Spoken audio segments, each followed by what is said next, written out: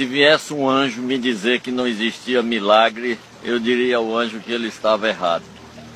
Eu passei muito tempo da minha vida em sala de cirurgia e vi muito milagre acontecer.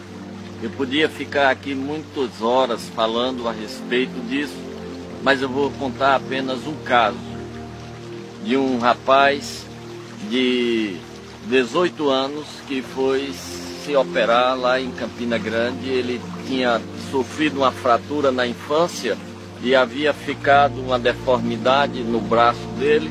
E durante essa cirurgia ele teve uma parada cardiorrespiratória.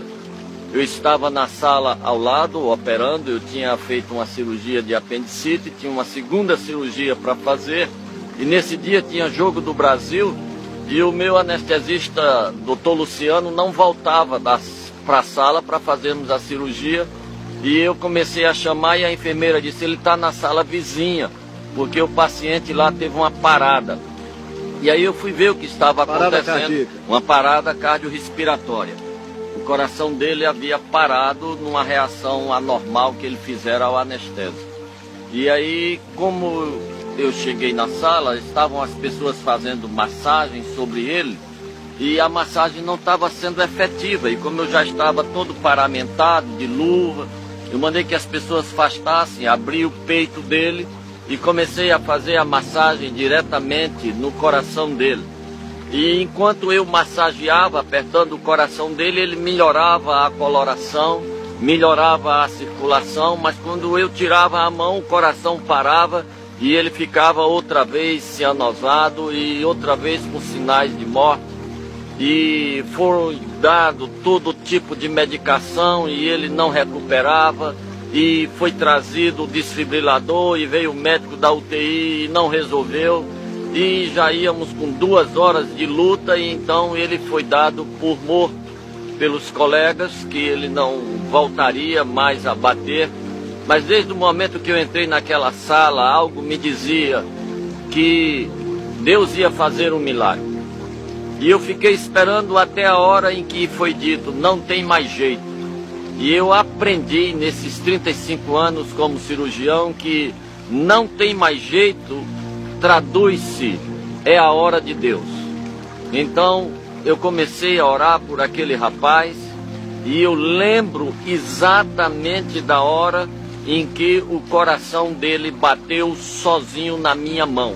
Eu estava massageando, que eu não queria desistir dele, e num determinado momento o coração bateu sozinho na minha mão, eu tirei a mão do tórax dele e o coração se segurou batendo, batendo, batendo. A essa altura o anestesista estava arrasado ao lado e eu disse: Rapaz, fique tranquilo, veja aqui o que Deus está fazendo. E aí ele levantou as pálpebras e me mostrou as pupilas já dilatadas para me dizer que ele já estava em morte cerebral. Eu digo, Deus que bota um coração para bater, bota um cérebro para funcionar. José Denilton, o nome desse rapaz. No dia seguinte, esse rapaz estava na UTI, sentado, tomando café da manhã. Eu creio em milagres. Eu vi muito milagre acontecer. Aliás, eu tenho pena de pacientes cujos médicos não creem em milagre e oferecem apenas a sua competência e o seu conhecimento. É muito pouco, tem hora que não vai dar para o gasto. E aprendi a sempre orar e pedir que Deus estivesse comigo. Às vezes, quando a situação era muito ruim, eu pedi a Deus que não me ajudasse. Ele mesmo fizesse e eu ia tentar não atrapalhar. E vi muita coisa maravilhosa acontecer. Você precisa de um milagre na sua vida, quem sabe na sua área de saúde, ou no seu casamento, ou em relação a um filho, em relação. Qual é o milagre que você precisa? O nosso Deus é Deus de milagres. Seu nome é Jesus Cristo. Vamos orar por esta Aliás, pessoas é bom que você saiba. Eu sou cirurgião geral, cirurgião de emergência. Milagre é a especialidade de Deus. Vamos orar? Vamos orar. Senhor Deus, nós queremos te pedir que todo o teu poder seja colocado a serviço de todo o teu amor. E esta pessoa que está nos ouvindo agora, precisando desesperadamente de um milagre, possa ser testemunha para a história e para todas as pessoas de que milagre é a tua especialidade e que tu tens prazer em os realizar. Em nome de Jesus, amém. Com os homens, tudo é impossível. Para Deus, não existe impossível.